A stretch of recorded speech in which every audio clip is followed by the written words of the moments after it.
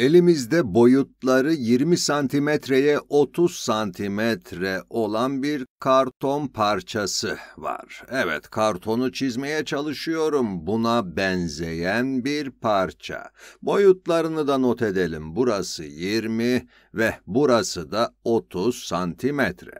Şimdi bu karton parçasının köşelerinden x santimetreye x santimetre kareler keseceğiz. Evet, kenar uzunluğu x santimetre olan kare şeklinde parçalar. x'e x ve x'e x.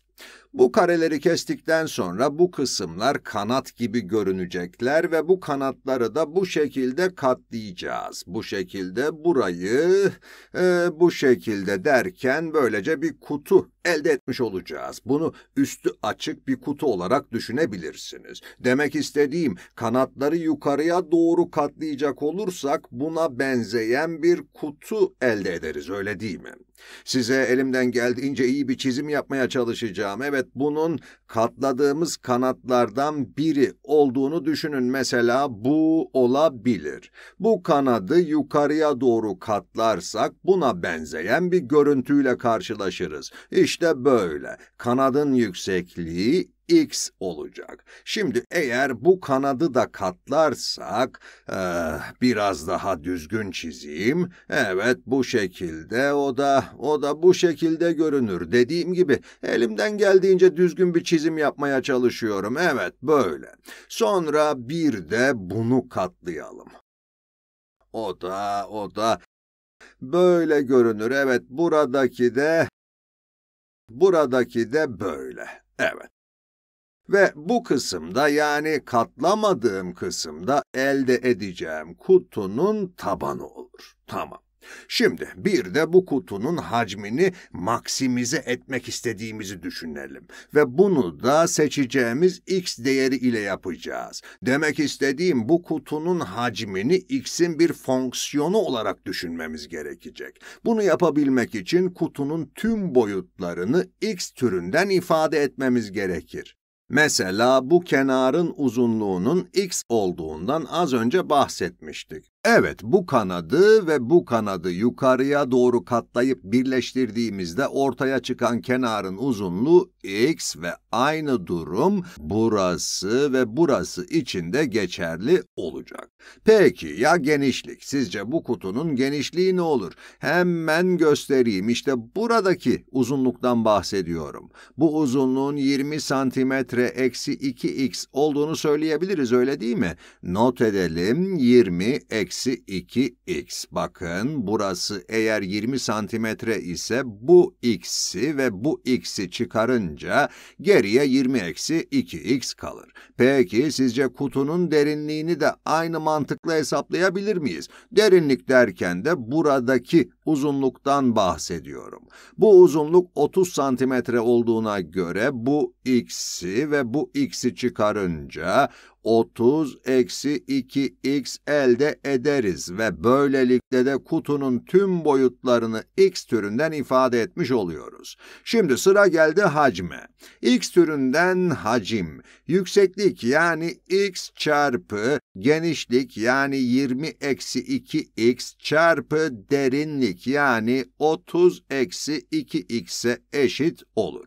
Elde edeceğimiz hacmin geçerli bir hacim olması için x hangi değerleri almalı? x bir kere sıfırdan küçük olamaz. Yani keseceğimiz bu parçanın negatif bir uzunluğu olması mümkün değil öyle değil mi? Bunun için x'in sıfırdan büyük olması gerektiğini söyleyebiliriz. Sıfırdan büyük ya da sıfıra eşit olarak not edelim. Peki x için bir üst sınır var mıdır? Burada pembeyle işaretlediğim uzunluk 20 eksi 2x'e eşittir ve bu uzunluğun da sıfırdan büyük olması gerekir. 20 eksi 2x sıfırdan büyük ya da sıfıra eşit olmalı öyle değil mi? Ne de olsa elimizdeki kartonun uzunluğundan daha fazla uzunluğa sahip bir kenar kesemeyiz. Buna göre 22x'ten büyük ya da eşit olması gerekir diyebiliriz. Bu sayede de onun x'ten büyük ya da eşit olması gerektiğini elde ederiz ve bu x'in ondan küçük ya da ona eşit olması ile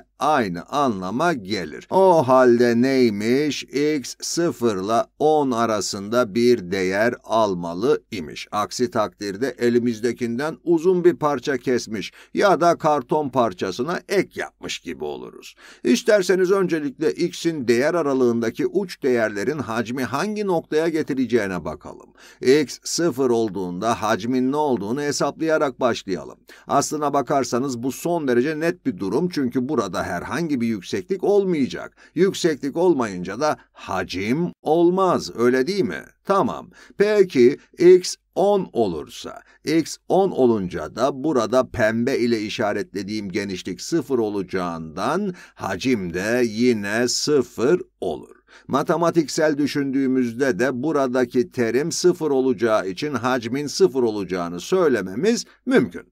O halde hacim maksimum değerini x'in 0 ile 10 arasındaki bir değerinde alır diyebiliriz. Analitik ve türev içeren çözüme geçmeden soruyu grafik üzerinde çözelim, değil mi?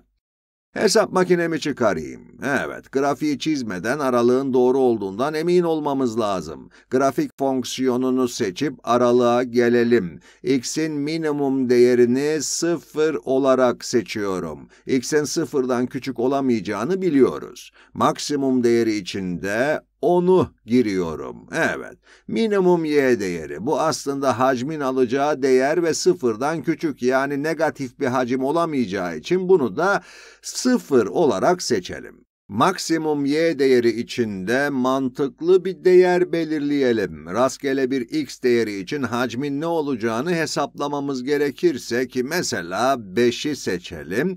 x eğer 5 olursa 5 çarpı 20 eksi 10 yani 10 doğru oldu mu? 20 eksi 10 evet 10 eder ve çarpı 30 eksi 10'dan evet buradan da 25 çarpı 10 çarpı 20 bin eder. X için rastgele bir değer seçtiğimizde ki biz 5'i seçtik, hacmin 1000 santimetre küp olacağını bulduk. Bunun maksimum hacim olmaması ihtimaline karşılık y'nin maksimum değeri için 1000'den daha büyük bir değer seçelim. Mesela 1500 olsun. Herhangi bir sebepten dolayı grafik eğer bu aralığa sığmazsa da y'nin maksimum değerini değiştiririz. Anlaştık mı? Şimdi de fonksiyonu girelim. Hacim x çarpı 20 eksi 2x çarpı 30 eksi 2x'e eşitti. Evet doğru oldu ve artık grafiği çizebiliriz. Şu tuşa basıp grafiği çiz diyelim ve işte böyle.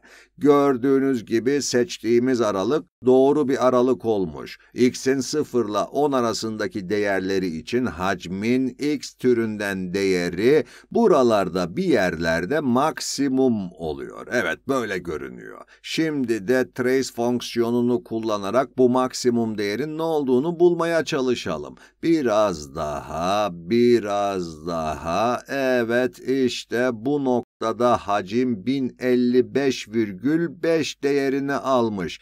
Sonra 1056, sonra 1056,20, 1056,24 ve sonra da 1055'e geri dönüyoruz. Hesap makinesinin yardımıyla elde ettiğimiz bu değer hacmin maksimum değeri için oldukça iyi bir tahmin gibi görünüyor. Hacmin maksimum değeri olan 1056'yı x'in 3,8 3,89 değerinde elde ediyoruz. Şöyle not edelim. 3,89'daki hacim yaklaşık olarak 1056'ya eşit.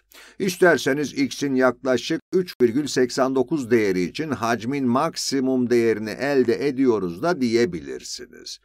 Şu ana kadar bu maksimizasyon problemini kurduk ve çözüme grafiksel olarak yaklaştık. Bundan sonraki videoda da analitik ve türev içeren çözümü göreceğiz.